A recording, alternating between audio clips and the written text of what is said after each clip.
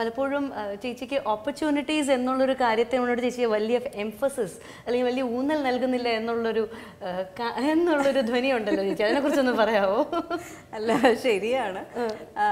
ഞാൻ അത് അത് അതാണ് ഞാൻ പറഞ്ഞു വന്നത് ഞാൻ അങ്ങോട്ട് അല്ലെങ്കിൽ എനിക്ക് ചാൻസ് വേണം. അല്ലെങ്കിൽ ഞാൻ അങ്ങനെ പോവാറില്ല.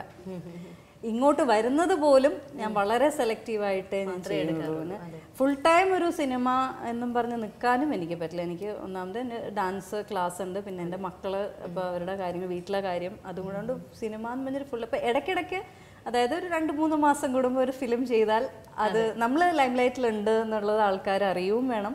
പിന്നെ ഞാൻ ചെയ്യുമ്പോൾ എനിക്ക് കിട്ടുന്ന ഒരു സാറ്റിസ്ഫാക്ഷൻ ആ ഞാനും വിട്ടിട്ടില്ല. ഞാനും ഇപ്പോഴും ഉണ്ട് എന്താ ഉണ്ട് അത് ഞാൻ ചെയ്യുന്നുണ്ട്? അതെ. അത്. ഒരു വല്ലാത്തൊരു എന്താ പറയാ ഒരു ഒരു- ഒരു അനുഭവമാണ്.